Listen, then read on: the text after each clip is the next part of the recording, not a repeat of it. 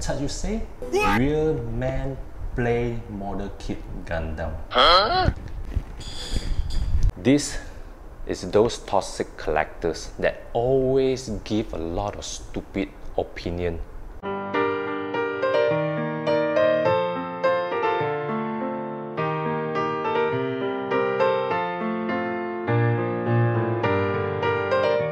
Gentlemen, welcome to today's very quick unboxing review.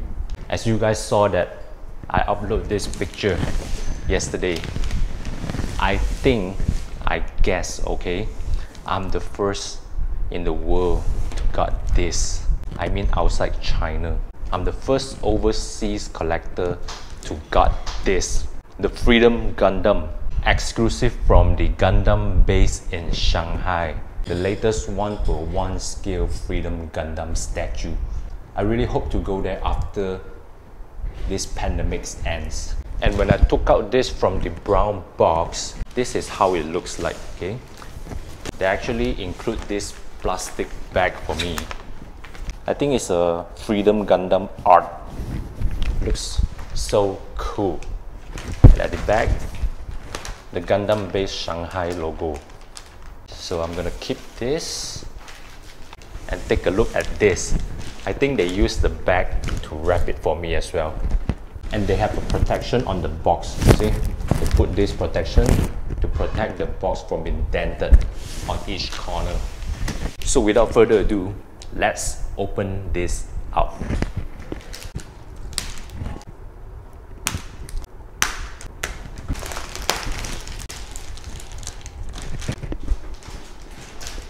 Whoa!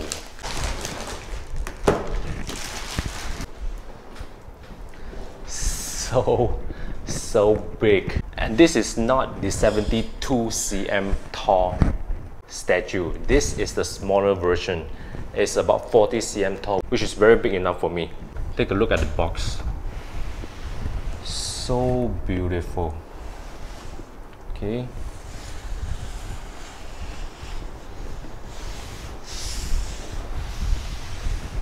this one I bought the original one from Bandai because I think the price is still acceptable. For 40cm, this price is about 700 before shipping and after shipping fee is about 800 plus ringgit Malaysia which is about 200 plus USD which I think is totally worth it. And no, this is not a model kit. This is a statue. I think they said it's a, like a soft vinyl type of material it can't move, you can't play, and you don't need to build like how you build your model kit. What? What's that you say? Real man play model kit Gundam. This is those toxic collectors that always give a lot of stupid opinion to other collectors. Don't worry, I have a lot of model kit Gundam. Okay, for those who said that Gundam must be a model kit. Yes, I have a lot. Here consists of a lot of MG and the normal HG 1 per 100 scale. Okay? There's a lot here. There's some in the display. At that time, I'm still in college. I haven't got in touch into the airbrushing and stuff. Okay, few more model kits. And I got a lot in my storeroom as well okay uh, damn it's too too heavy for me to move okay? This box inside is all the uh, three kingdom sd gundam. And you see there are some few gundams over here as well. And inside the box i think still got a lot. See? Yeah i too have a model kit gundam but those are bought during my college time because we have a lot of time to build, sand, and sometimes do a little bit of painting. It's like different people got different preference. Who are they to show who's more superior and what should they get, what should they do, what should they buy? These people are really annoying. A typical 100% toxic douche idiot collectors. So let's open this up and check what's inside the box.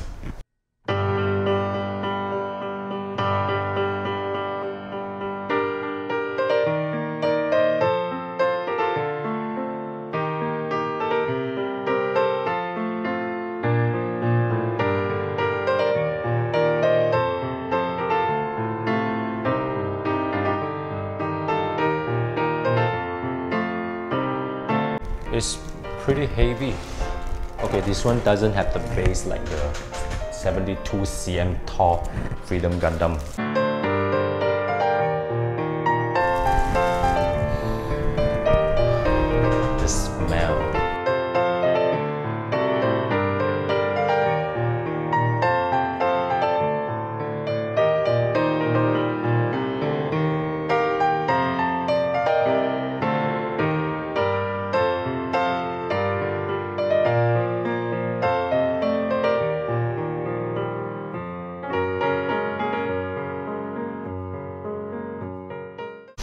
Finally!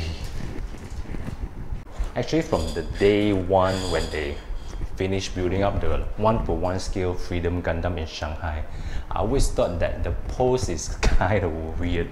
It's like, hmm? like an awkward pose but still good still good okay let's check out the closer video and see which part can move and which part couldn't let's go okay guys this is how it looks like when I took it out from the box.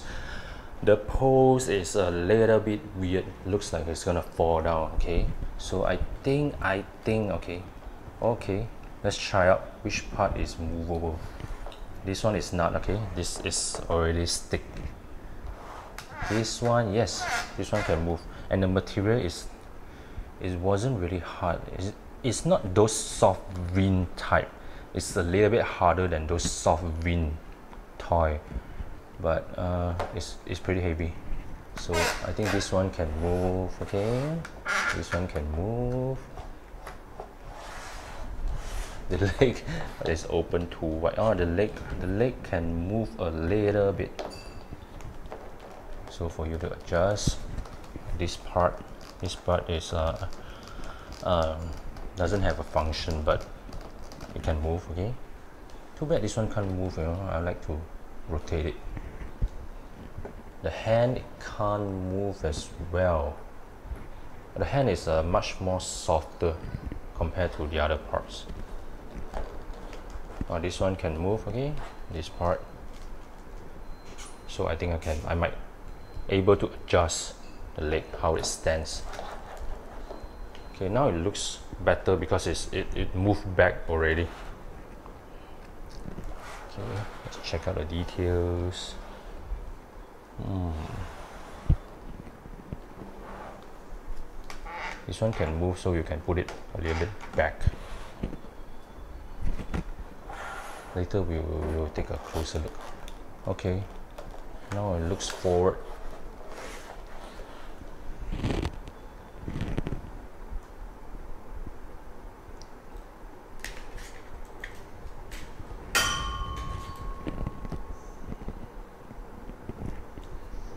so now I just use my hand without the camera stand to show more close-up details okay? These are those decals. Hmm nice. This is really sharp okay? Uh, not too soft so you better don't mix uh, sorry better don't play around with this because it might break it. Okay check out the face no lights up effect okay? The arms.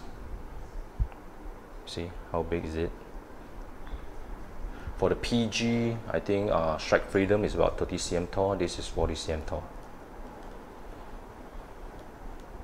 Hmm, lack of details here but what we pay is what we get. I think the price is totally acceptable. Okay this is this pose is totally same like the one per one scale freedom gundam. Cool. Action hero. Check out the back.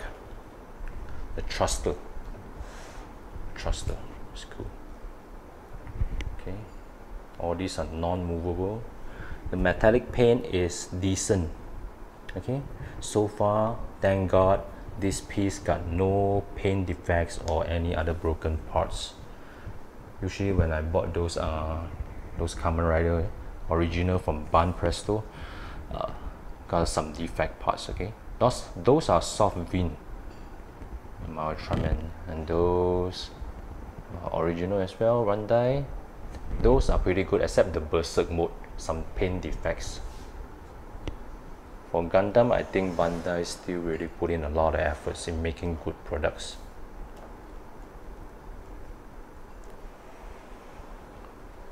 Okay, that's it. Nice. Okay, after viewing the close-up video, how was it? To me, at my age, I really don't have a lot of time because I don't have a rich dad, okay? I wasn't born in a rich family. I'm not some minister or politician's sons that we got a lot of money coming in every month without worrying.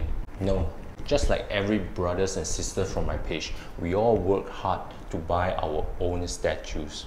And we don't have a lot of time. We need to separate our times for working, for kids, for family. That's why some really stop building Gunpla kits, those Gundam model kits, because it's really, really time consuming. So for this price, about 800 plus ringgit Malaysia, official license original from Bandai, and the size about 40 cm tall, it's totally worth it. As for the 72 cm Freedom Gundam, that one is it's kind of hard to buy it because the price is about 15,000 Chinese yuan, about 10,000 ringgit Malaysia, 2,500 US dollar. So that's all for today's very, very quick unboxing video on this, the 40 cm tall Freedom Gundam from the Gundam base of Shanghai. And I'm so glad I'm the first one to upload in YouTube, although not many subscribers, but it's just passion.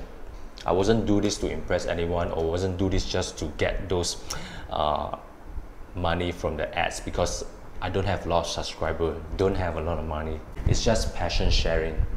And I see you guys next time. Goodbye. A few moments later. So now the main problem is where should I put this? Actually my cabinet is is pretty full but all these are just temporary because I'm saving the place for um, next time maybe a much bigger statue then I'll move the smaller one back to my office. So where should I put? I think I just put it here. Just move a little bit.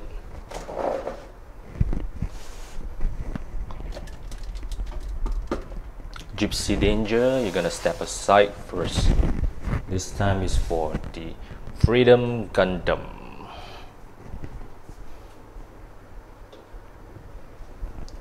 Yeah